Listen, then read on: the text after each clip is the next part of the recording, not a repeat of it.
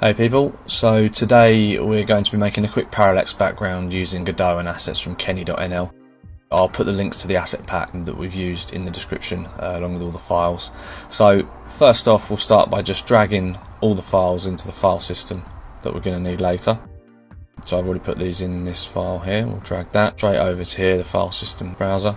So we're going to start off with a 2D scene, Node 2D is put in by default here. So this will allow us to use this as a background in other scenes if we want to in other projects. So we're going to set up the rest of the scene as I'm going to show you here. So we're going to start off by adding a parallax background. This is basically required for all the parallax layers to work on top of it. So I'm just going to add eight parallax layers to the parallax background and we're going to add a sprite to every one of those so that they'll all have sprite associated with them and we can see them. We're also going to attach a sprite to the node 2D. It's going to be used to add a character sprite to later and we're also going to add a sprite. We're going to put a sun in the background and we're also going to add a color rect and we can use that to colour the background there. So I'm just going to go through now and rename everything so that we can tell what we're working with later on.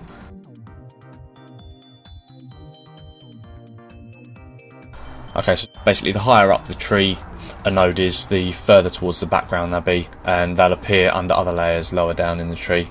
The closer you get to the bottom, the closer to the foreground that node will be.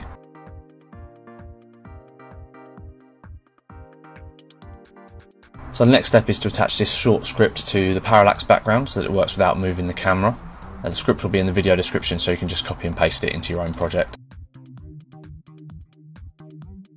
So what we're going to do now is just set the colour of the colour rect by selecting it and going over to the inspector. Click on the rectangle next to where it says colour and set it to a light blue colour for the sky. I already know what colour I'm using so I'm just going to type in the hex code here. The next step is to assign textures to all of the sprites by selecting the sprite, dragging it from the file system here and uh, onto the inspector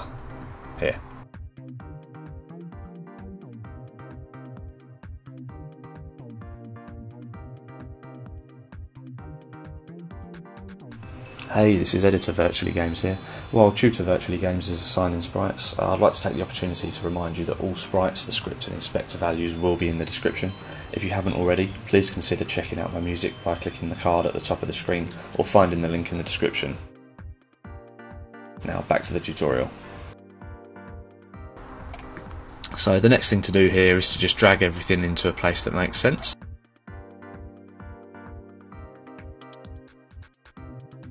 Sense of all of these. So here if we just put the sun over here.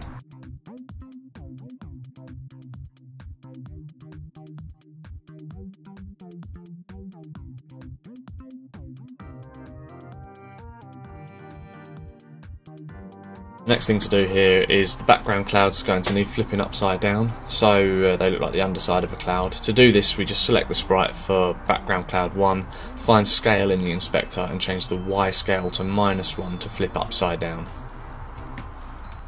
We also need to change the size of the background clouds and the foreground hills so there's a greater illusion of depth. For the clouds just change X to 0.75 and Y to minus 0.75 um, as that will flip and scale to three quarters the size. Change hills 2 to 0.75 on the X and Y as it will resize to three quarters. So next we're going to colour the sprites using the inspector. Go to visibility under canvas item and select the colour you want. Um, I already know what I'm going to use. I'll just type in the hex code.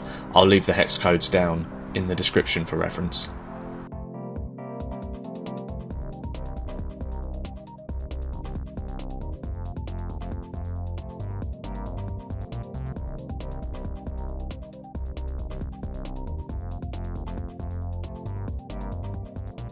So as you can probably see, what I've done here is just set sprites further in the background darker and made them lighter towards the foreground.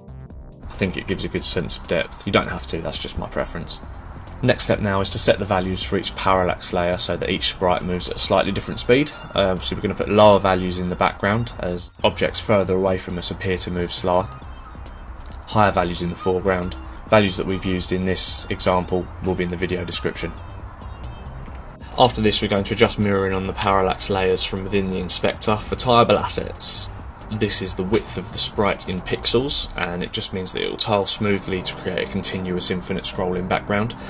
For anything else set the value so that the asset is reloaded as it exits on one side. Values uh, we've used will be in the description. And now we're going to add a sprite for the player character. Drag him down and check it out. So before we can check it out, we just need to save the scene. save it as background, something. Press play, it'll ask us to select a main scene, which will be the scene we just saved.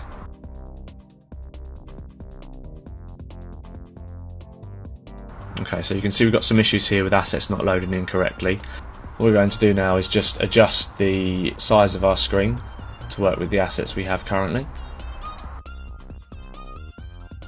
Do this by going to Project, Project Settings, Scroll down to display window. Size, we're just going to set to a square of 600 by 600. Close that. And so the last step now, so just change the size of the colour rect to 600 by 600 and give it a try.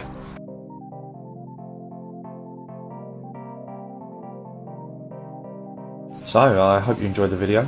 Thanks so much for watching. Don't forget to like, comment and subscribe and I'll see you in the next video.